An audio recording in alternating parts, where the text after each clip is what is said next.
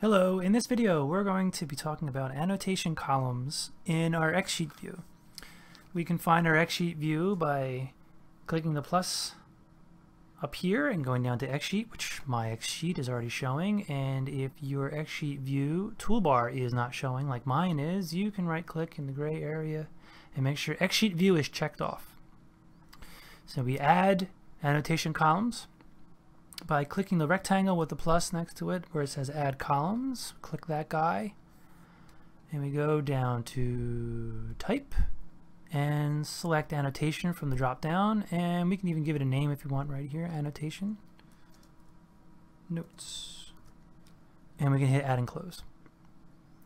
So here is our annotation column and it allows us to grab the edge here and resize it if we wish so where are we? Where are we doing here? This this piece of animation right now that I'm working on is very rough. We're in the thumbnail stage.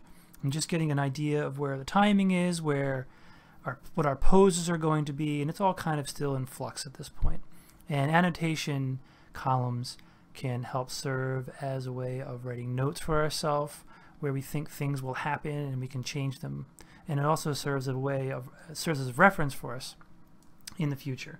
So the first thing we can do is if I hold down shift by the way I can move around in my Xsheet view by holding down shift. You'll see the hand appear and I can grab navigate through my Xsheet we can draw in our annotation column simply by drawing like this. I have a stylus in my hand and I'd like to point out that it is not pressure sensitive right now. If you do not have one of those fancy styluses make sure that your little brush up here in the upper corner is showing to be able to draw in our annotation column. If we want to change, if we think this is too thick, we can change the thickness of our pen by going to the menu icon, going down to annotation, and playing with our settings here with in pen width to make it you know, super thin like that. To erase it, I flip my stylus over and just erase it like so, like that. And again, if you don't have one of these fancy styluses, you can go up to our brush and click that, turn it into the eraser, and erase to your heart's content, like that. So that said, now we the other thing we can do is we can type in our annotation columns to help give us notes where things are going to happen, where they're going to take place. If our brush or eraser are, are already picked, we can hold down the control button and click in any empty cell and begin to type jump. And we can do another one, land.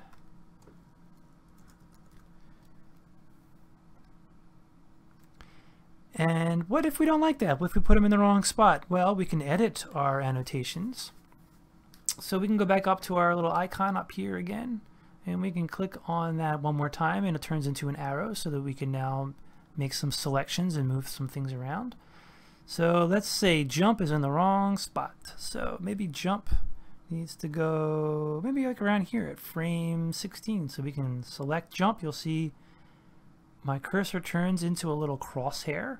Click and drag that guy down to frame 16 and where else? Land. Land happens right here at frame 19 we can click on land and drag it up to frame 19 let go of it now we can even draw in here to get a little more detailed information. Maybe through here she's, let's see, jumping through here so we can do a little annotation. We can draw a little bit here, just something like this. Jumps and lands and go, oh, that looks pretty good, just like that. And again, we can move all of this information by just clicking until we can make a selection. We can drag and then we can just click and drag and move stuff around as we see fit.